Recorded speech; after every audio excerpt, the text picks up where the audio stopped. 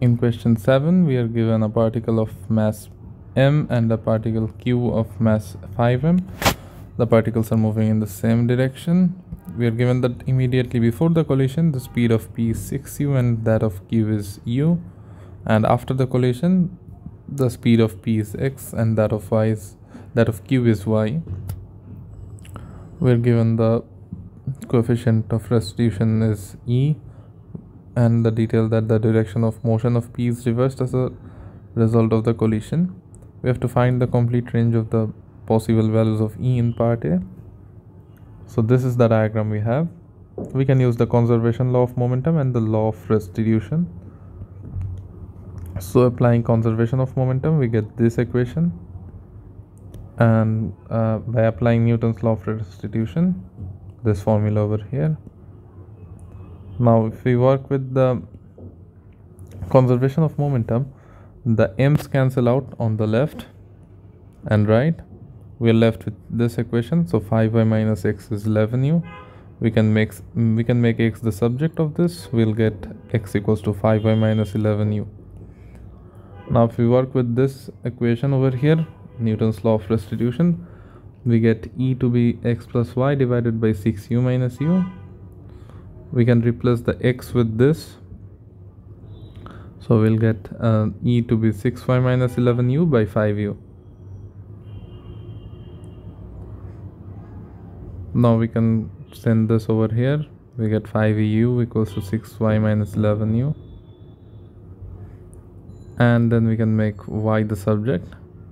Now from this equation we know that x must be greater than 0 so for the direction to reverse x must be greater than 0 so if x is greater than 0 5y minus 11u will be greater than 0 we can make y the subject here and we get y is greater than 11 by 5u we can put it over here. So we'll get 5eu plus 11u by 6 greater than 11 by 5u we can multiply the 6 on the right. So we'll get 5u plus 11u greater than 13.2u then we can move the 11u to the left get 5u equals greater than 2.2u and then we can divide both sides with 5u and get e greater than 0.44 this is not the complete range we also know that the value of e must be between 0 and 1 inclusive. So this is our answer to part a. Now in part B we are given that the value of the coefficient of restitution for this collision is 3 by 5 so we'll work with that. We'll place that in the equation of y. We'll get y to be 7 by 3u we put it in this equation now we can find the value of x we know that x is 5y minus 11u so 5 times 7 by 3u minus 11u we'll get x is 2 by 3u.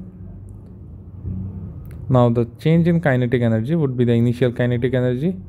So for particle P this would be half into m into 6u whole square. For particle Q the initial uh,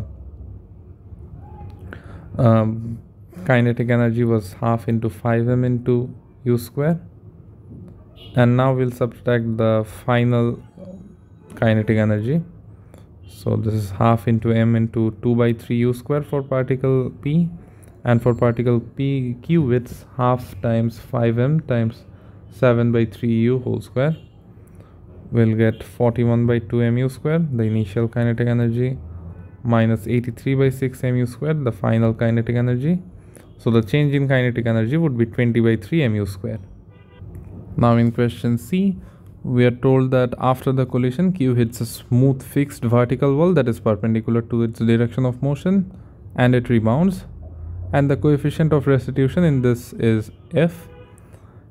Now given that there is another uh, collision so given that there is a second collision between p and q we have to find the complete range of possible values of f the coefficient of restitution between q and the wall.